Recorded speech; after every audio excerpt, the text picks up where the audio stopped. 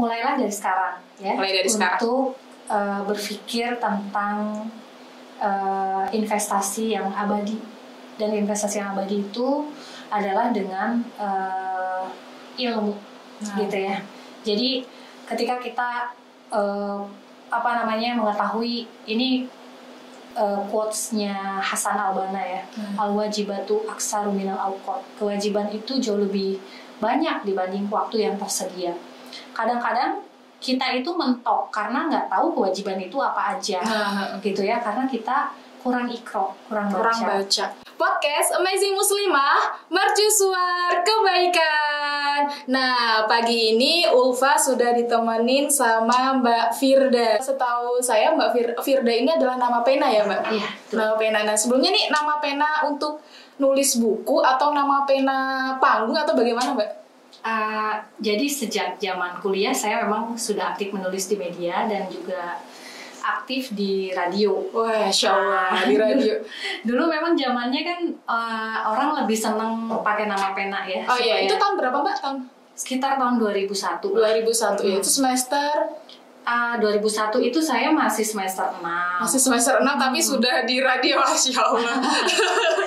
ya, inilah mainan baru. mainan baru sampingan juga Iya, sampingan juga. penghasilan. nah itu waktu itu di radio mana mbak Ah, di Bandung dulu saya aktif ngisi di radio RRI Bandung sama di radio pernah di radio KLCBS juga pernah jadi narsum. oh, Masya Allah dari kuliah sudah ini ya mbak jadi narasumber di radio Aja remaja. oh remaja tapi Masya Allah saya kuliah dulu ngapain ya? Organisasi saya nggak pernah kayak gitu. Iya, nah masya Allah beliau ini adalah owner dari rumah baca fakih nih yang Iya. yang mungkin ada yang sudah tahu atau ada yang belum bis- bisa dikepoin juga di fanspage-nya di Facebook ya rumah baca fakih. Nah Iya. sebelum uh, Ulfa pengen banyak tahu terkait dengan uh, kegiatan di rumah baca fakih juga sebenarnya penasaran gini kalau menurut Mbak Firda aja ya manggilnya mungkin iya, lebih nggak enak. terkait dengan kondisi saat ini ya Mbak. Iya. kan beberapa tahun yang lalu itu uh, di era digital itu kan sudah mencuat ya Mbak sejak beberapa tahun yang lalu. Tapi ditambah kondisi sekarang yang pandemi ini malah menuntut orang-orang itu serba digital serba online, Online. serba segala sesuatunya itu melalui internet gitu. Termasuk dalam hal membaca buku. Bisa Iya. lewat literatur secara di e-book bisa artikel-artikel online. Bahkan kemarin waktu awal-awal corona itu sempat rame. Pernah ini nggak mbak? Ikutin nggak? Rame karena banyak sekali penulis buku yang protes gara-gara link link tulisannya itu disebarluaskan secara gratis Hmm. itu kan kemarin sempat rame Iya, nah iya. kalau menurut mbak Firda sebenarnya masih penting nggak sih kita baca via buku gitu bukan kan karena kalau kita lihat digital tuh sebenarnya lebih mudah gitu Benar, benar banget. Ya, eh, sebetulnya eh, se- apa namanya seiring dengan perkembangan zaman ya. Sekarang nggak bisa kita pungkiri, kita nggak bisa menutup mata. Eh, kalau hari ini tuh eh, semua muanya itu serba digital ya. betul dan akses eh, untuk mendapatkan informasi itu gampang banget lebih gampang lebih kan? gampang lewat internet, lewat internet ya. ya, gitu ya kita mau tanya apa apa aja ada mbah Google mau lihat tayangan apa aja ada YouTube gitu ya bahkan secara gratis itu mas nah, Nada, gitu ya informasi itu benar-benar eh, bisa cepat gitu ya nggak kayak eh, dulu mungkin sebelum eh, apa namanya sebelum era digital ini kita kalau mau apa-apa kan ya kalau eh, butuh referensi harus eh, dari buku. Dari buku. Dan itu butuh effort ya. Kalau nggak beli kita mesti ke perpustakaan kan? Iya, betul. gitu ya. Nah em, kondisi ini memang nggak bisa kita hindari karena memang eh, udah masanya begini gitu ya. Tapi apakah tadi kalau pertanyaan Mbak Ulfa sebenarnya eh, apakah buku dikatakan udah nggak zamannya lagi? Nggak gitu juga gitu ya. Karena buku eh, kalau dalam pandangan saya gitu ya secara eh, pribadi itu punya eh, apa ya punya posisi tersendiri gitu loh untuk kita ya. Dan buku itu punya manfaat yang eh, jauh berbeda dengan eh, internet gitu. Makanya kenapa eh, buku itu menurut saya adalah sebuah benda ya yang eh, akan selalu eh, apa ya up to date lah sepanjang zaman. Dan eh, bagi orang-orang yang sudah tahu ya manfaat buku buku ini pasti tidak akan ditinggalkan. Sekalipun era digital ya kita berada di era digital. Buku pasti tidak akan dia tinggalkan sekalipun kita berada di era digital gitu ya. Karena ada yang berbeda loh mbak. Feelnya mungkin beda ya. Ah ya selain dari feel dari sisi manfaatnya juga lain banget gitu loh. Kita baca Iya. dengan kita baca bukunya secara fisik itu beda banget gitu Bener ya. banget, tapi Ulfa juga ngerasain iya, beda banget. beda banget gitu ya. Kalau kita baca buku itu eh, udah banyak juga ya peneliti yang saya nggak kenal ya penelitinya Hmm. aja tapi saya baca gitu ya eh, terkait dengan manfaat eh, apa namanya manfaat dari membaca buku ini yang nggak bisa digantikan dengan eh, e-book sekalipun gitu ya dengan Mbah Google dengan internet sekalipun gitu ya. Nah ini yang nggak bisa tergantikan gitu loh. Makanya eh, buku ini memang punya posisi yang sangat luar biasa gitu loh Mbak Ulfa Iya, sebenarnya kalau memang sih kalau secara pribadi sih uh, Ulfa juga ngerasain ketika misalkan saja baca novel, baca novel secara uh, lewat internet Ha. sama baca novel secara buku itu feelnya juga beda. iya benar Benar, karena nggak tahu kenapa ya buku Iya. itu rasanya tuh enak aja gitu. Bener gak sih? ya? ada interaksi di situ Ada interaksi bener. Eh, makanya salah satu manfaat dari membaca buku itu kalau tadi ya terkait dengan buku-buku non fiksi yang kita baca itu melibatkan emosi. Nah betul. Nah emosinya itu dapat Dapat gitu kalau ya. di buku padahal sebenarnya nggak beda Sama- jauh. sama aja, sama sama aja tapi entah kenapa Nah, itu. beda banget antara eh, kita baca via digital, Ah. via online sama dengan buku Iya. gitu. Beda banget ya. Mungkin eh, teman-teman di sini juga ngerasain gitu. Makanya kenapa sampai sekarang meskipun eh, internet itu sudah menjadi kayak lah ya. ya, udah semuanya tuh serba online, bahkan baca eh, literatur-literatur juga serba online, tapi buku masih saja banyak diminati Dicari, ya, di bener- bener-bener dicari Iya. karena mungkin salah satunya itu uh, orang-orang ngerasa lebih nyaman baca secara via buku Iya, gitu, secara fisiknya, secara fisiknya. fisik, secara otentik Iya, gitu, benar. Masya Allah. Benar banget. Nah, terkait ini uh, Mbak Firda mungkin terkait rumah baca Fakih ya. Sebenarnya Hmm. tadi uh, rumah baca Fakih ini Mbak Firda um, membangun maksudnya mem, membang- bukan membangun sih memulai memulai Oh, masya Allah mau mau mencari kata memulai aja bingung memulai untuk uh, membuat rumah baca fakih ini sejak kapan mbak? Jadi uh, rumah baca Fakih ini uh, sebetulnya dirintis ya. Itu tahun kelima pernikahan ya. Saya menikah tahun 2005. Saya punya anak tahun 2006. Punya anak pertama lalu kemudian 2007 uh, ngelahirin lagi. Punya yang kedua. Jadi saya anaknya udah lima. Masya Allah adanya lima tapi masih muda banget Mbak Firda. ya saya udah bermutu belum tua jadi eh, awalnya itu sebetulnya kecintaan saya secara pribadi ke buku itu mulai muncul itu usia SD SMP lah ya SD, SD. itu masih kita masih senam main lah ya Heeh. terus di kampung nggak ada perpustakaan gitu ya orang yang punya eh, rak dengan eh, buku yang jumlahnya banyak bisa kita Hmm. baca itu dikit banget ya ke rumah temen yang punya majalah bobo aja udah seneng banget Senang banget.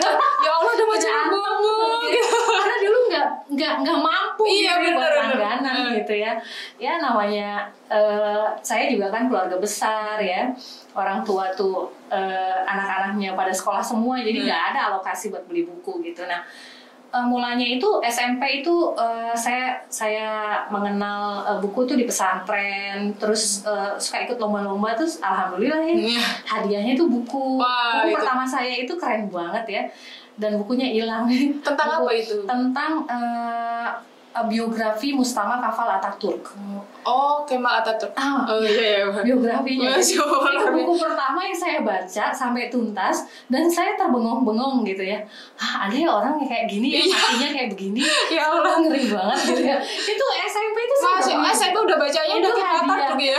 Iya, bener. itu hadiah lomba nasyid dulu saya Oh. juara terus dapat hadiah itu dan itu buku saya rawat gitu ya Eh, terus dari situ eh, saya mulai tuh ngelirik yang namanya toko buku Hmm.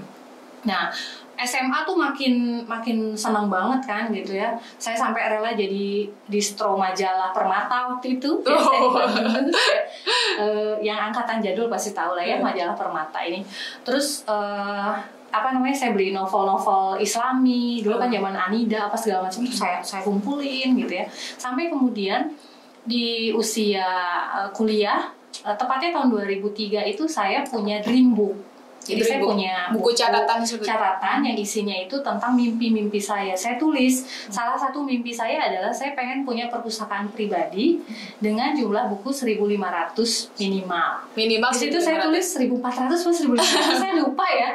Tapi bukunya masih ada. Nah, eh, dari situ kemudian memang eh, apa ya? Karena ditulis ya. Jadi saya lebih fokus. Saya bener, eh, bener kalau punya banget. uang, zaman mahasiswa tuh kan punya uang tuh benar-benar sisa gitu ya, Mm. sisa dari motokopi eh, diktat, sisa dari Pertama lagi yang tadi Iya. radio itu Ah, iya, ongkos gitu Iya, ya, segala bener. macam. Eh, terus eh, saya juga suka masuk-masukin tulisan ke koran, dapat dulu berapa ya dapat 35.000 ribu Tapi udah gede dulu ya lumayan beli buku beli buku gitu ya sampai kemudian eh, Allah wujudkan eh, apa namanya cita-cita saya ini di eh, tahun 2010 jadi waktu itu eh, punya beberapa lah sedikit ya koleksi buku terus karena punya anak jadi saya lebih fokus ke buku-buku anak buku-buku yang eh, apa yang biasa dibeli itu seringannya kan sobek ya. Hmm. Terus saat itu saya memberanikan diri untuk beli buku premium.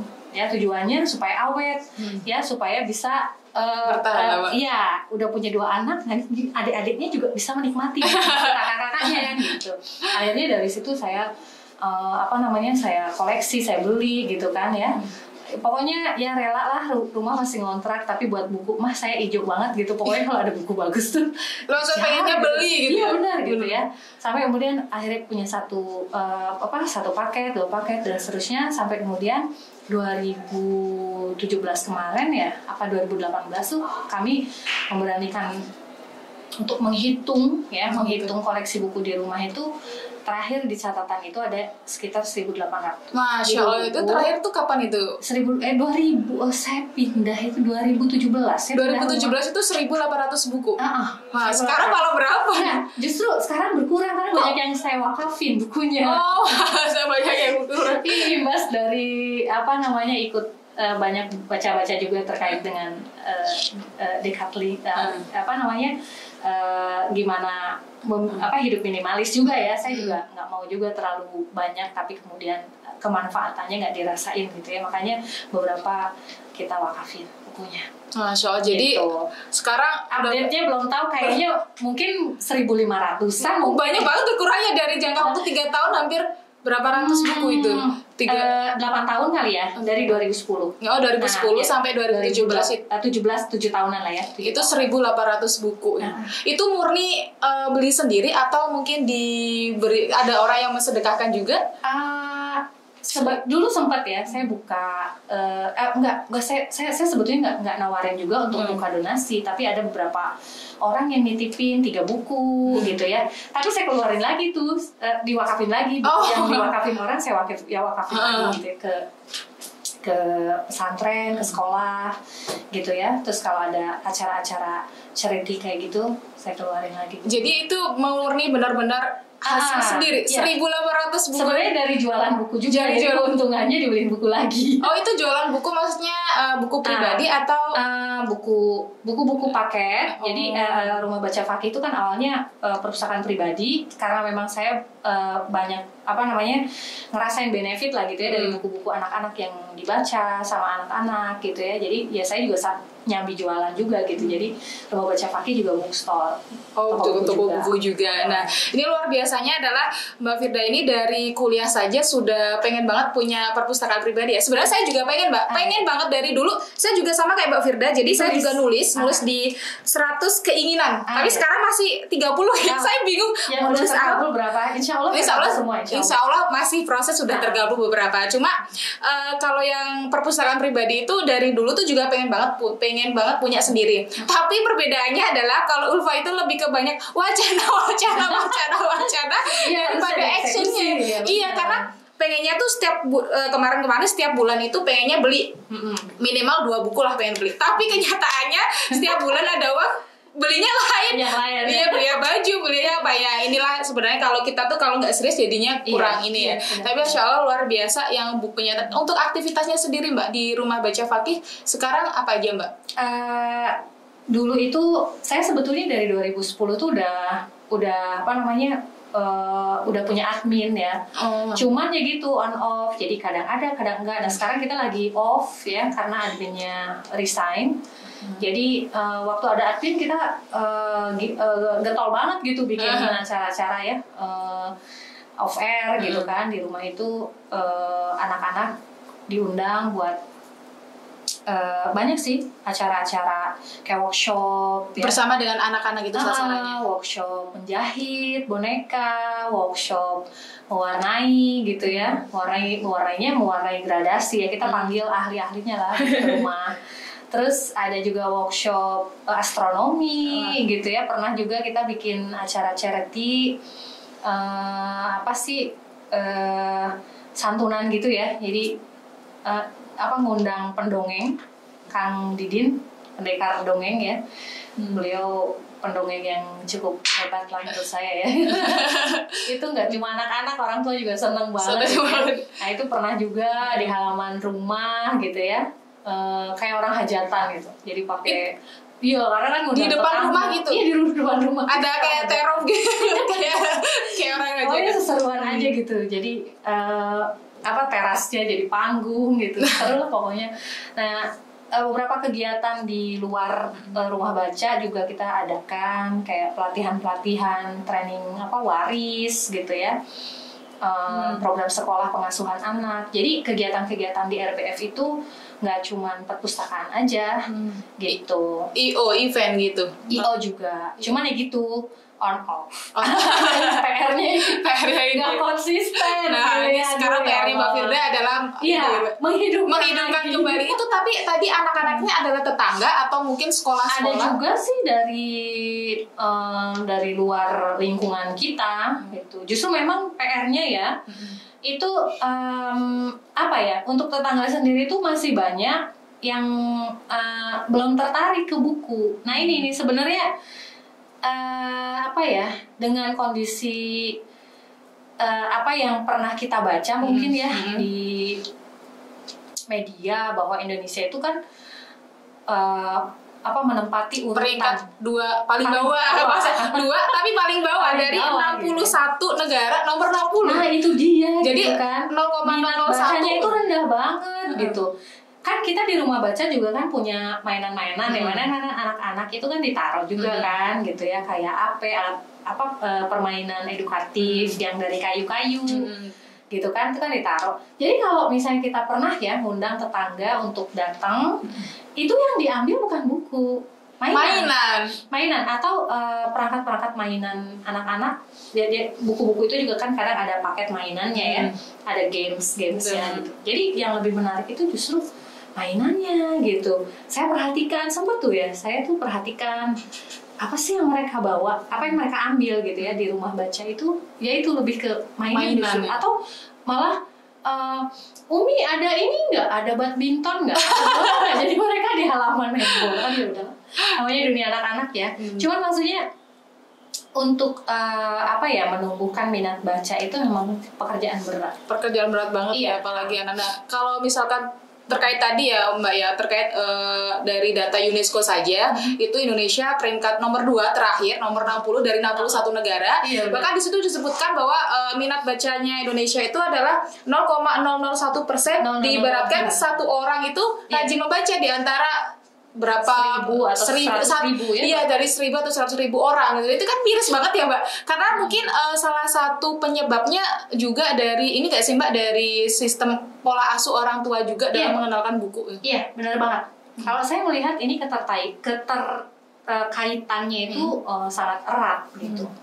Jadi eh, sebenarnya eh, apa namanya anak itu mencintai buku itu ya harus ditumbuhkan. itu bukan dari Nggak- kecil ya sih Iya, jarang banget gitu yang memang datang apa dengan sendirinya Hmm. gitu loh. Bener. Saya termasuk yang eh, juga eh, buk apa tidak dibesarkan di di di tengah-tengah keluarga yang yang apa namanya yang eh, cinta buku Cinta. karena memang di rumah juga nggak punya gitu ya buku di saya saya masih ingat banget ya waktu SD itu buku di rumah itu ya punya ayah saya itu Nail Autor uh, bulu marom gitu ya buku-buku fikih gitu yang memang jadi bahan bapak saya buat Hmm. buat apa namanya uh, khutbah Jumat gitu, doang gitu ya.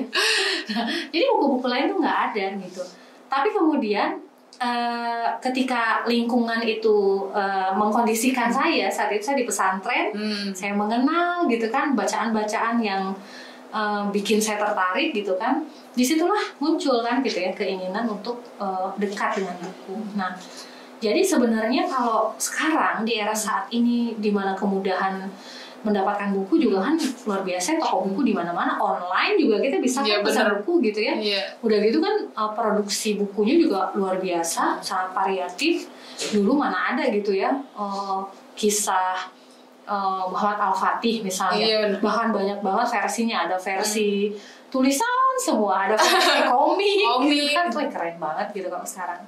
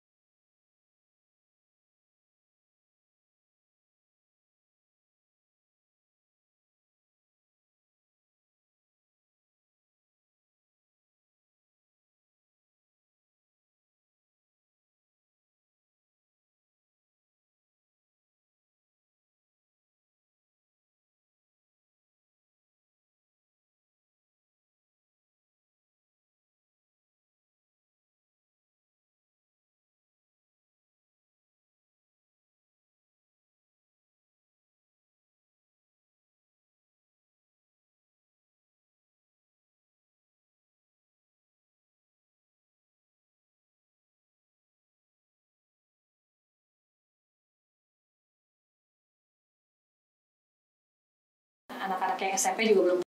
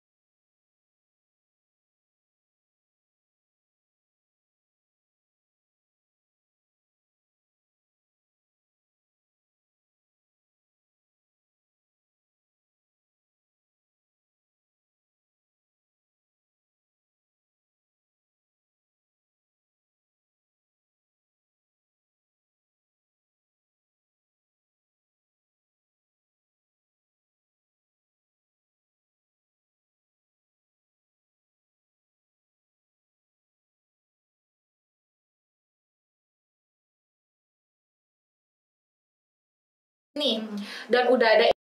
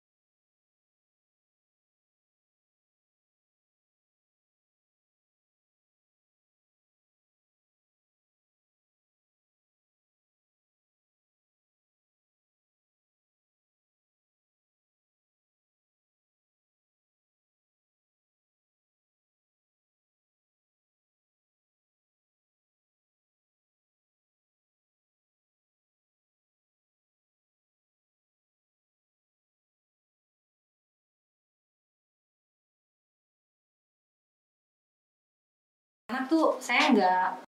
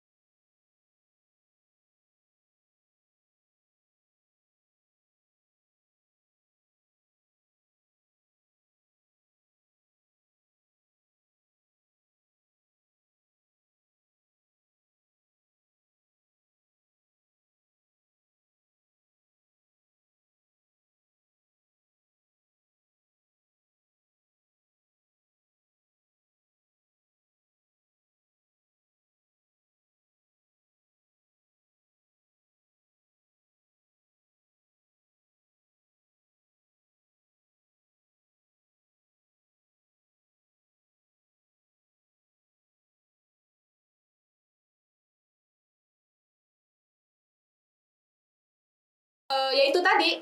Secara langsung secara